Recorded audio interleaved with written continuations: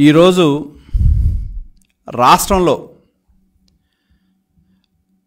పెద్ద ఎత్తున తెలుగుదేశం పార్టీ ప్రజా సమస్యల మీద పోరాటం చేస్తూ ఉంది. నిన్న మొన్న చూసాం మా నాయకుడు చార నారా చంద్రబాబు నాయుడు గారు. రైతుల తరపున పోరుబాటు అనే కార్యక్రమాన్ని రైతులు పంట నష్టపోతే పంట కొనకపోతే రైతులు పోరుబాటు అనే కార్యక్రమానికి శ్రీకారం చుట్టడం జరిగింది. అలాగే ఒకవైపు మరో మా యువ నాయకుడు నారా లోకేష్ గారు యువగళం ద్వారా ప్రజల యొక్క వాణిని వాళ్ళ సమస్యల్ని ఎత్తి చూపెట్టే విధంగా ఆయన పాదయాత్ర నడుస్తూ ఉంది. అదేవిధంగా ఇవాళ ఏదైతే అమరావతి బయటపడతా ఉన్నాయి. అదేవిధంగా జగన్మోహన్ రెడ్డి గారి యొక్క బంధువుల ప్రమేయంతో బాబాయ్ హత్య జరిగితే మరి ఇంతవరకు ఆ హత్యలో భాగస్వామైన తండ్రి ఏమో జైల్లో ఉంటాడు కొడుకేమో బ్రహ్మాండంగా బయట తిరుగుతూ ఉన్న పరిస్థితి మనం చూస్తూ ఉన్నాం. ఇటువంటి నేపథ్యంలో జగన్మోహన్ రెడ్డి ప్రభుత్వం జగన్మోహన్ రెడ్డి మరో కొత్త నాటకానికి తెరదీయటం జరిగిందని చెప్పి తెలియజేస్తా ఉన్నా. జగన్మోహన్ రెడ్డి అంటేనే విధ్వంసం. ఇవాళ ప్రజలు ఒకటే కోరుతా ఉన్నారు. సైకో పోవాలి సైకిల్ రావాలి అని చెప్పి ప్రజలు కోరుతా ఉన్న నేపథ్యం. ఇటువంటి పరిస్థితుల్లో ప్రజల దృష్టి మరించేందుకు ఈ కొత్త డ్రామాకి తెరదీసిందని చెప్పి నేను తెలియజేస్తా ఉన్నా. నేను ఒకటే అడుగుతా ఉన్నా. ఇన్నర్ రింగ్ రోడ్డు మాస్టర్ ప్లాన్లో భాగంగా ఇన్నర్ రింగ్ రోడ్ అనేది లేని ఇన్నర్ రింగ్ రోడ్డు వేయని ఇన్నర్ రింగ్ రోడ్డు రాని ఇన్నర్ రింగ్ రోడ్డు మీద ప్రభుత్వం తమ చెప్పు చేతల్లో ఉంది ప్రభుత్వం తమది అని దానిలో ఏదో ఒక విధంగా ప్రతిపక్షంలో ఉన్న తెలుగుదేశం పార్టీని నాయకుల్ని ఆనాడు మంత్రులుగా చేసిన వాళ్ళని ఇరికించాలనే ఉద్దేశంతో సిఐడి విచారణ చేపడితే మరి అసలే ఇన్నర్ రింగ్ రోడ్డు లేని దాని మీద సిఐడి విచారణ చేసి గత సంవత్సరాలుగా ఏం సాధించిందని చెప్పి నేను ప్రశ్నిస్తా ఉన్నా.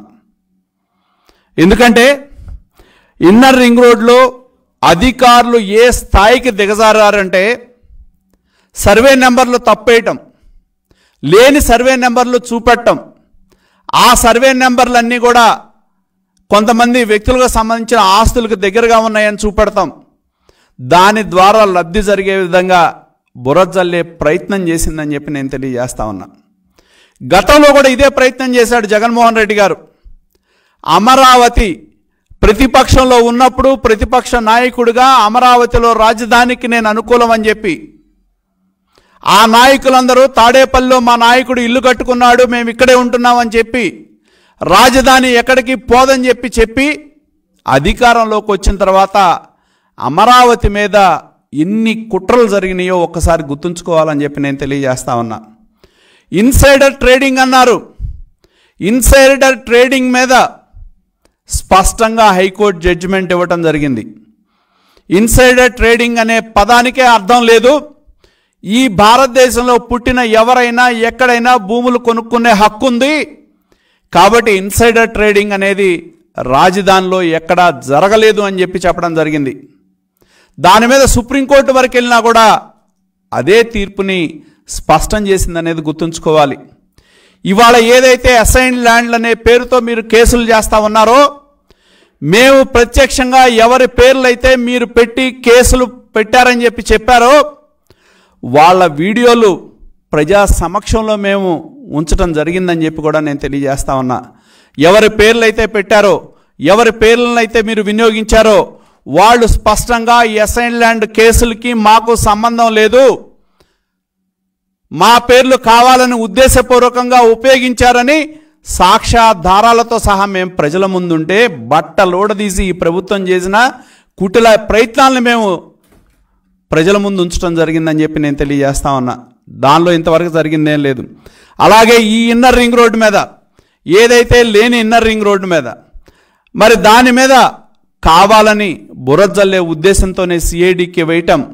సిఐడి వాళ్ళు సంవత్సరాల పడి పాటు కేసు నడిచినా కూడా ఒక్కటి కూడా నిరూపించలేని మాట వాస్తవం కాదా? ఆ కేసుల్లో గతంలో అసైన్మెంట్ ల్యాండ్లో కానీ వీటిలో కానీ ఇవాళకి ప్రభుత్వం ఇంకా సంవత్సర ఎనిమిది నెలల కాలంలో ఎలక్షన్లకు వెళ్తా ఉన్నా చార్జ్ షీట్ కూడా వేయలేని పరిస్థితి ఉందన్నమాట వాస్తవమా కాదా అని చెప్పి నేను ప్రశ్నిస్తా ఉన్నాను కేవలం ఇవన్నీ కూడా అమరావతి రాజధాని మీద బురజల్లాలి అమరావతి రాజధాని మీద కుట్రలో భాగంగానే ఈ కేసులు తప్పితే ఇంకొకటి కాదని చెప్పి కూడా నేను స్పష్టం చేస్తా ఉన్నానని చెప్పి తెలియజేస్తా ఉన్నా. అదేవిధంగా నేను ఒకటే తెలియజేసేది. మీరు ఏదైతే ఈ యొక్క ఇన్నర్ రింగ్ రోడ్ మీద కేసు పెట్టినప్పుడు స్పష్టంగా హైకోర్టు వ్యాఖ్యానించిన మాట వాస్తవం కాదా? ఈ కేసు అనేది రాజకీయ ప్రయోజనాల కోసమే ఈ కేసు పెట్టడం జరిగింది కానీ దీనిలో లేని ring ro- inner ring road రాని రింగ్ ఇన్నర్ రింగ్ రోడ్డు వేయని రింగ్ ఇన్నర్ రింగ్ రోడ్డు మీద ఇది ఇది కేవలం రాజకీయ ప్రయోజనాల కోసమే సిఐడి కేసు పెట్టిందని బెయిల్ ఆర్డర్లో స్పష్టం చేసిన మాట వాస్తవమా కాదా అని చెప్పి కూడా నేను అడుగుతా ఉన్నా. నేను ఒకటే ఆలో అడిగేది. ఎందుకంటే ఇవాళ సిఐడి అధికారులు మేము అనుకున్నాం అధికారి మారితే మార్పు వస్తుందేమో అని చెప్పి. కానీ ఎటువంటి మార్పు కూడా కనపడని పరిస్థితి ఇవాళ కనపడతా ఉంది. ఎందుకంటే ఇవాళ సిఐడికి క్విట్ ప్రోకో అంటే అనే పదానికి అర్థం తెలుసా అంటున్నా. అయ్యా క్విట్ ప్రోకో అంటే మీ ముఖ్యమంత్రి జగన్మోహన్ రెడ్డి గారిని అడగండి. ఆయనకి బాగా తెలుసు. క్విట్ ప్రోకో అనే దాన్ని అధికారాన్ని ఎలా ఉపయోగించుకోవాలి? తన తండ్రి అధికారాన్ని అడ్డం పెట్టుకొని ఏ విధంగా నలభై రెండు వేల కోట్ల రూపాయల ఆస్తులు ఆయన సంపాదించాడో అసలైన క్విట్ ప్రోకో చేసిన వ్యక్తి జగన్మోహన్ రెడ్డి గారు అని చెప్పి తెలియజేస్తా ఉన్నా. తండ్రి అధికారాన్ని ఉపయోగించి ఫార్మా కంపెనీలు ఎట్రోల్ లాంటి కానివ్వండి అరబిందో లాంటి వాళ్ళకి ఎస్సీజెడ్ల కింద ల్యాండ్లు ఇచ్చి వ్యాన్పిక్ లాంటి వాళ్ళకి పోర్ట్లు ఇచ్చి పెన్నా సిమెంట్ లాంటి వాళ్ళకి పర్మిషన్లు ఇచ్చి వాళ్ళ ద్వారా తమ దానిలో తమ సాక్షి కంపెనీలో డబ్బులు పెట్టించుకొని దాని ద్వారా రూపాయి డబ్బులు లేకుండా వేల కోట్ల ఆస్తులు సంపాదించిన జగన్మోహన్ రెడ్డి గారి క్విట్ ప్రోకో అవుతుంది కానీ అసలు ఏమీ సంబంధం లేని ఈ కేసుతో సంబంధం లేని చంద్రబాబు నాయుడు గారు నివాసం ఉంటున్న ఇంటిని కేవలం ప్రచారం కోసం ముఖ్యమంత్రి అడుగులకు మడుగులొచ్చే విధంగా సిఐడి ఆర్డరు ఈ అటాచ్మెంట్ ఆర్డర్ ఇవ్వటం అనేది మరి వాళ్ళ యొక్క అధికార దుర్వినియోగానికి సిఐడి అధికారుల యొక్క అధికార దుర్వినియోగానికి పరాకాష్ట అని చెప్పి కూడా నేను తెలియజేస్తా ఉన్నా.